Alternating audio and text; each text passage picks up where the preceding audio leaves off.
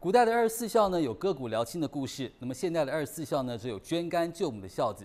这位孝子呢，就是高雄正修科技大学电子系的学生赖威霆。那么校方今天除了颁奖表扬他的孝心之外，也鼓励学生要多孝顺父母。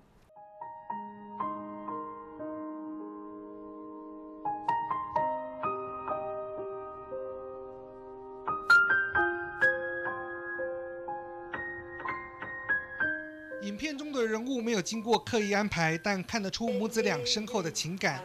从当初知道母亲病危，到捐出肝脏，硬是将母亲从鬼门关救了回来，母子情深不是三言两语可以道尽。我我很感恩你，感谢你，没有你有没有现在的妈妈坐在这边？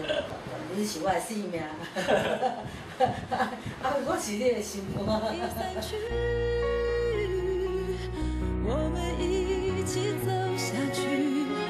一起笑着看沿途风景，我最最亲爱的你，最真的一句永远守着爱着你。历经换肝手术，赖威霆和妈妈感情浓得化不开，而这样的孝心也让他就读的学校深受感动，不仅颁发孝悌楷模表扬，还给予奖学金，就是希望让这样的故事能够感动更多的人。最亲爱的你。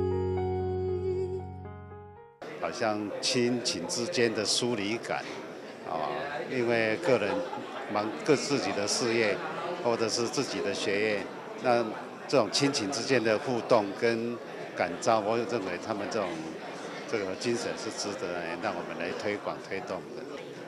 应该考虑没有很久的，大概一天就可。就考虑了，OK，就要捐就捐了，对对。到最后是妈妈真的，她是打电话直接说我能不能捐给她，她已经会怕了，对对，所以是她拜托我。我本身也想说，一开始是我想说可以捐，可是她不让我捐。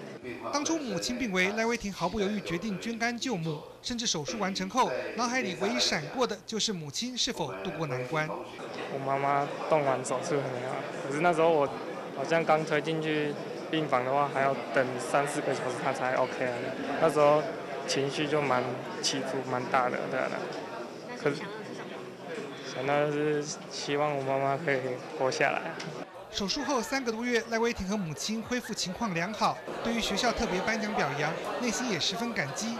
如今最希望的就是毕业后赶紧投入职场，改善家里的经济，才能让母亲早一点卸下身上的重担。港都新闻王少宇采访报道。